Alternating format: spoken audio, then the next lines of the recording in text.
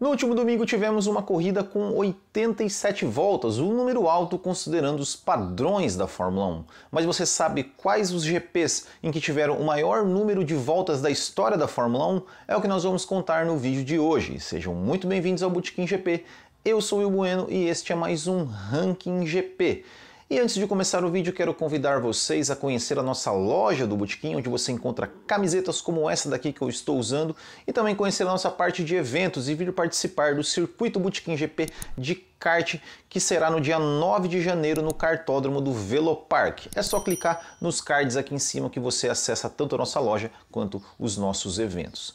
Então vamos começar o nosso ranking GP de hoje e na sexta posição nós tivemos aí várias provas disputadas com 100 voltas completadas. Tivemos GPs de Mônaco, GP dos Estados Unidos, mas eu vou falar do GP da Holanda de 1955, vencido por Juan Manuel Fangio. Foram 100 voltas completadas em 2 horas e 57 minutos em um traçado em Zandvoort, que, que era praticamente um anel externo e com média de velocidades de 144 km por hora. A pole position foi de Juan Manuel Fangio da Mercedes com a volta em 1 minuto 40 segundos e 0 centésimos e na corrida a volta mais rápida foi de Roberto Roberto Mieres, da Maserati, com 1,40.3. Na quinta posição, também com 100 voltas disputadas, tivemos o GP da Grã-Bretanha de 1956, prova que também foi vencida por Juan Manuel Fangio, só que dessa vez pilotando a Ferrari. A pole position foi de Stirling Moss da Maserati, com o tempo de volta em 1,41,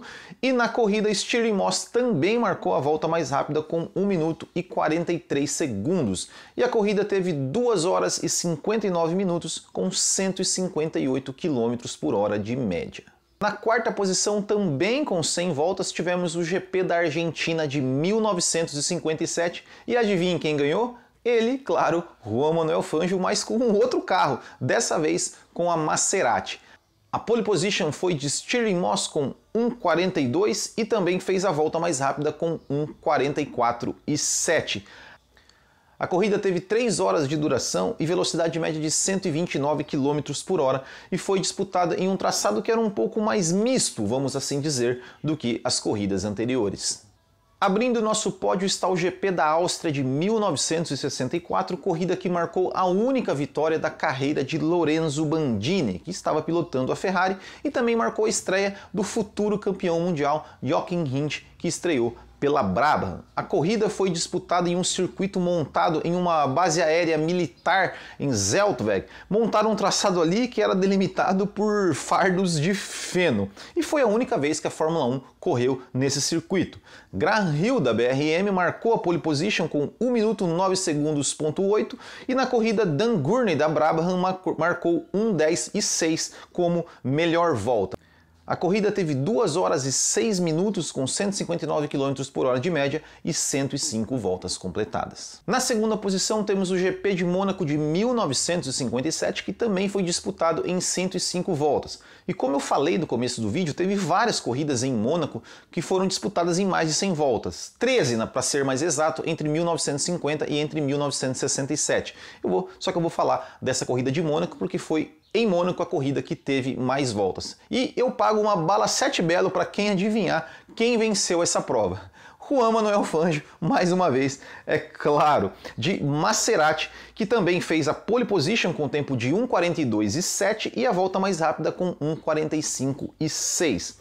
A corrida teve 3 horas e 10 minutos de duração, com uma média de 104 km por hora nesse traçado que vocês estão vendo aí na tela. E inclusive eu fiz um vídeo com a evolução do traçado dos circuitos de Mônaco e Monza. É só clicar no card e também ir lá conferir. E na primeira posição temos o GP dos Estados Unidos de 1965, disputado em Watkins Glen, e um traçado que foi praticamente um anel externo também e teve 110 voltas completadas, a exemplo das corridas de 63 e 64.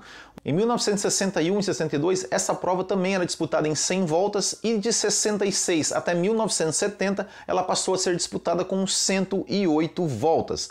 A pole position dessa prova de 65 com 110 voltas foi de Graham, Graham Hill da BRM com 1 minuto 11 e 2 e a volta mais rápida foi 1 11 9 também de Graham Hill que venceu a prova. Vale ressaltar que eu não estou considerando aqui nesse ranking as, as provas das 500 milhas de Indianápolis, que eram disputadas com 200 voltas ali nas décadas de 50 e 60 e que faziam parte do calendário oficial da Fórmula 1. Só que como nem os carros da Indy vinham disputar o restante da temporada na Fórmula 1 e nem os pilotos e nem os carros de Fórmula 1 disputavam as 500 milhas de Indianápolis, eu desconsidero isso como estatística oficial da Fórmula 1, apesar da Fórmula 1 considerar, então eu desconsiderei. Lembrando que esse tema foi sugerido pelo Bruno Nóbrega, nosso apoiador, lá no grupo do WhatsApp.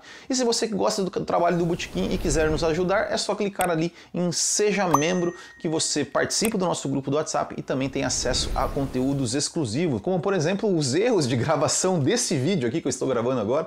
Eu tenho, uh, vou, vou postar os erros e também vou fazer lives exclusivas para os apoiadores. Não deixe também de se inscrever no canal e ativar as notificações para não perder nenhum vídeo. É isso aí, muito obrigado, grande abraço, até o próximo e tchau!